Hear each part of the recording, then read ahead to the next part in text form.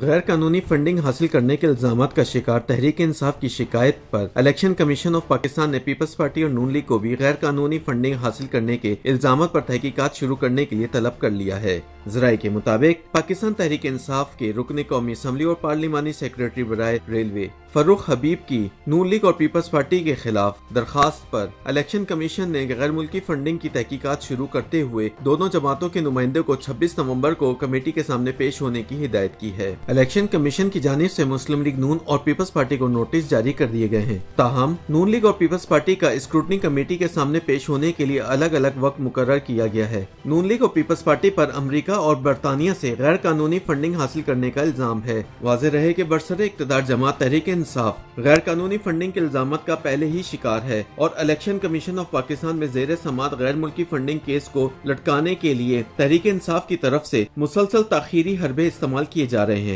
تاکہ کیس کا فوری فیصلہ نہ کیا جا سکے۔ خیال رہے کہ پی ٹی آئی کے سابق رکن اور درخواست گزار اکبر ایس بابر نے پارٹی چیئرمین عمران خان سے اختلافات کے بعد دو ہزار چودہ میں ای سی پی میں فورن فنڈنگ کیس دائر کیا تھا اور الزام لگایا تھا کہ غیر قانونی غیر ملکی فنڈز میں تقریباً تیس لاکھ ڈالر دو آف شور کمپنیوں کے ذریعے اکٹھے کیے گئے اور یہ رقم غیر قانونی طریقے ہنڈی کے ذریعے مشرق وسطی سے پی ٹی آئی ملازمین کے اکاؤنٹس میں بھیجی گئی۔